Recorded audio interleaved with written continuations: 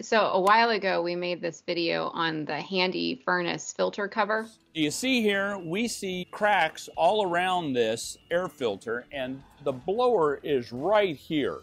So as far as the amount of air that we can leak in there is extremely high. We could be in a crawl space, we could be in a garage, uh, we could be in somebody's wood shop right now, and we're leaking a lot of air. We're drawing a lot of air from a very contaminated type space. I've made my own out of magnetic strip. We can just cover it up.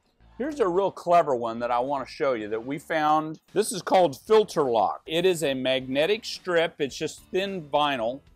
So it's very pliable and see how even the, the, the pressure of the furnace it's running right now actually helps to hold it in place. You can see how it is drawing it in because there's that much airflow at this particular point. But this is a real clever, it's called a, a filter lock by Allergy Zone. We'll put a link on this uh, video that you can go straight to Amazon and uh, purchase it there. But it's a real simple deal. It's a real easy fix. Um, I've gotten this question a couple of times, but this one just came in 13 hours ago. Why don't manufacturers design a closed lid for the filter slot?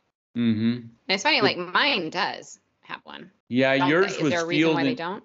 Yours was field installed and and all of these filter slots things like that really it's not part of It's just whoever installs it didn't. yeah and uh, depending on you know many times the filter was in in the blower compartment but those were only used a fraction of the time so they kind of have quit doing that it really is just kind of the installation in the field you know and uh, Mhm. kind of the, that's the way it's always been done. You know, they typically just has that open slot. It's amazing how much air it gets. And my house was the same you know, Mhm. until I put the cover on it. it. You know, but it was the same way. But it's amazing how much air will be drawn into the return air around that filter slot. Yeah.